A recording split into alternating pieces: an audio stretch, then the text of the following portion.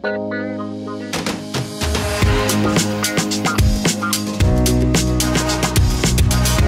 hello, hello. Welcome to Jazz After Dark. How we doing today? Tonight. Hope everybody's doing good. We're going to talk about brokerage accounts for beginners here, and maybe you know, maybe there'd be something to learn for uh, some of you others out there that are not so familiar with the rules. Um, and I have a feeling we could expand on this a little bit, so you'll let me know in the comments below. As always, we've got our sample here tonight. If you're having a drink with me. If not, skip ahead. But, uh, you know, something, right? We have a 15 year old single malt Scotch whiskey. It is called Glen Alachi. I, I butchered that. I know I did. Uh, it's from Flaviar. Again, we've got one more to go here in our little five pack. Uh, there's a link in the description if you want to support the channel and, and uh, let us have some free drinks. Uh, they give you a discount for doing that. So be sure to check that out. Uh, the GlenAllachie I don't. It's uh, I don't know how you say that, but I assume that's it. Maybe Cody can put up a, a image of the bottle or whatever. Uh, it is primarily notes of raisin, dates. Oh my God, this is gonna be good. Uh, banana, ginger, butterscotch, orange peel, walnut. Okay, yeah, a lot of sweetness, uh, which is interesting. A uh, lot of raisin in the smell there. That's a Scotch whiskey right there. I'm not a Scotch guy so much. So that initial hit of the Scotch there, you know, it's kind of kind of turns me off a little bit. It's very good. Uh, I'll give you that. Um, I don't have much to compare it to, but if I had to drink a Scotch whiskey, I'd be very impressed with this. Um, I don't know what it costs. You should look these things up, right? We should talk about this. I might be drinking something that's cheap. The Glen Alachi. It's the 15 year old single malt Scotch whiskey. What does this thing run here? What? Whoa! Like a hundred bucks? Yeah, the 12 year old goes for 77.99. Holy cow! Uh, I looked up the Yellowstone from last night. That was like 40 bucks. Uh, wow.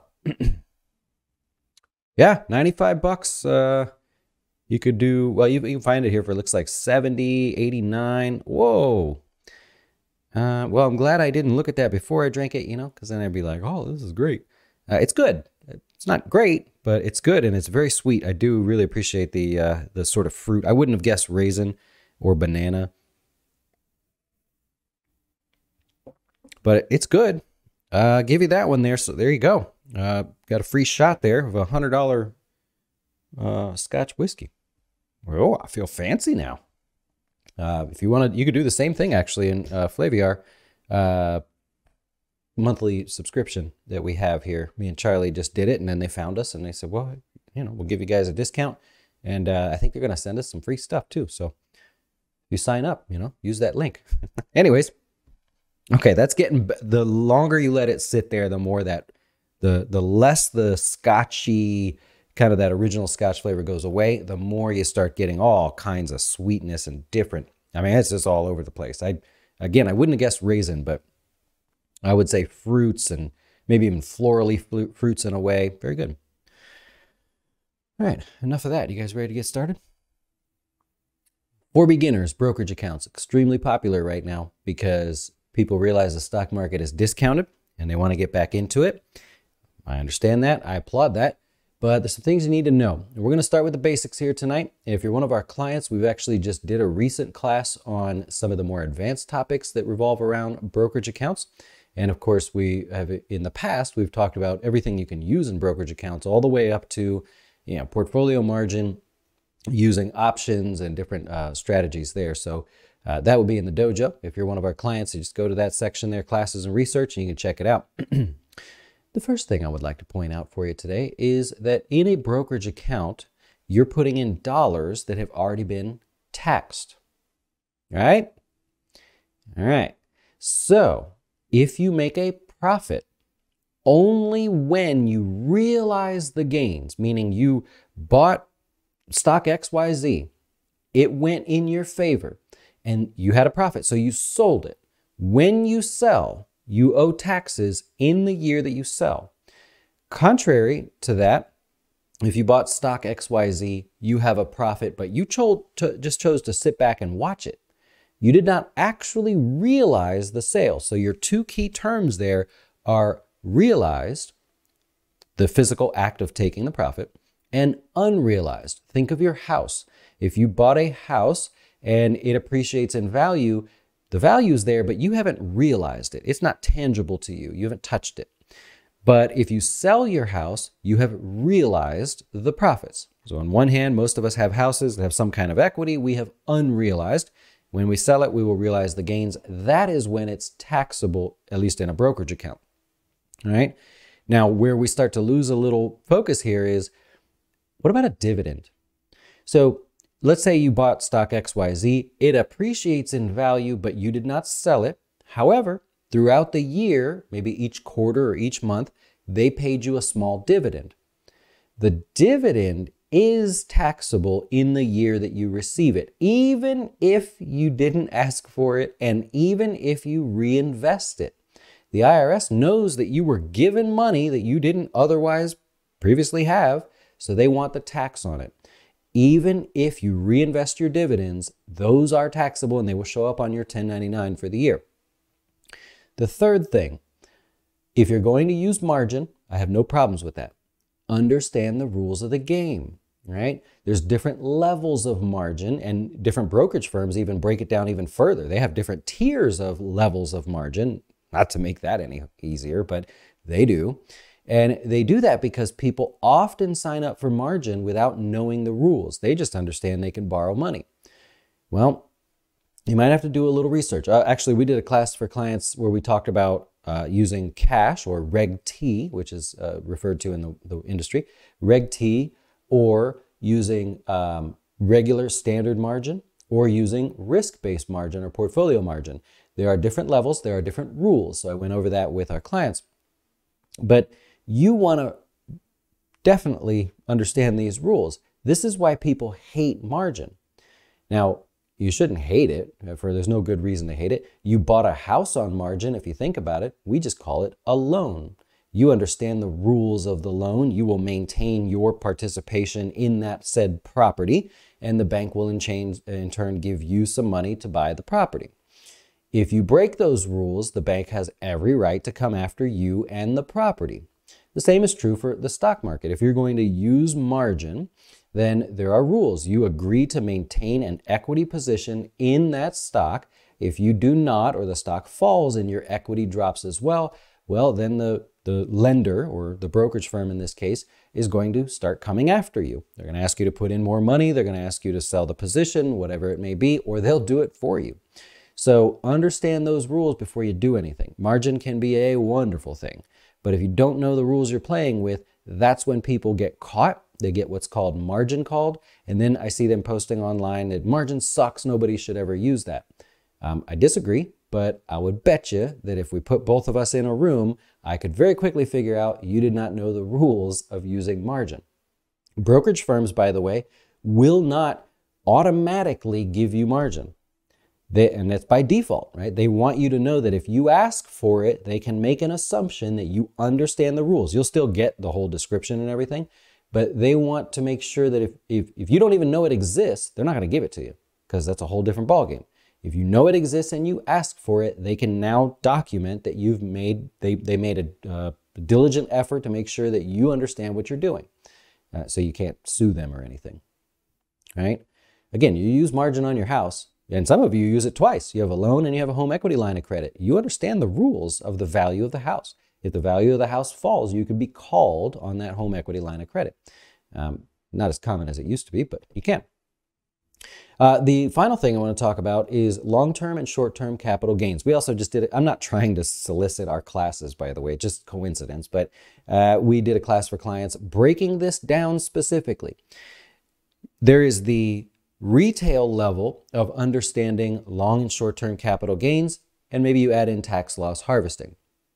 There is then the additional level, which we're doing in 2023, right? We're going to ask that additional level of questions uh, with long and short term capital gains. The gist of it is um, if you buy stock XYZ it goes up in value at some point within a one year period, not a calendar year, one year period from the date that you bought it, um, assuming it's a cash account.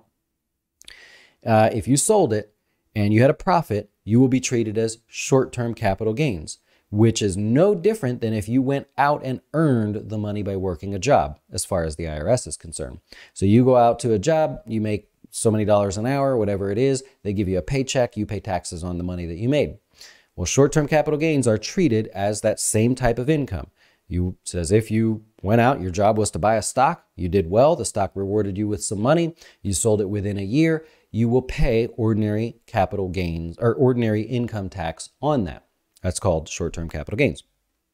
If you are an investor in a particular position, or you forgot about the position, I've got Disney, I've seemed to have had that forever. Uh, so if you bought the stock, I'll use Disney as an example, a year and a day goes by, or even further, two years, five years, whatever it is. And we're going to assume you have a gain on that position. Well, if two years later you sell the position, that's considered an investment, and an investment pays, or you would pay long term capital gains on that. Now, that can be any number of things. Long term capital gains is a flat tax, ordinary income is a, uh, I'm going to get some flack for this, but it's essentially a progressive tax, right? You don't pay a flat amount on your entire amount of income, although you would technically pay a flat amount on your ordinary gains. It's a separate thing. Um, a flat tax is long-term capital gains. Most of you will pay a flat 15% on your gains. So it's really easy to calculate. If I sell this position today and I make $1,000, how much do I get to keep? 850, right? 150 goes to taxes, you keep the rest. So nothing wrong with that. Um, high income earners will pay 20%, but it doesn't go any further than that. You'll never pay more than that on a general stock position.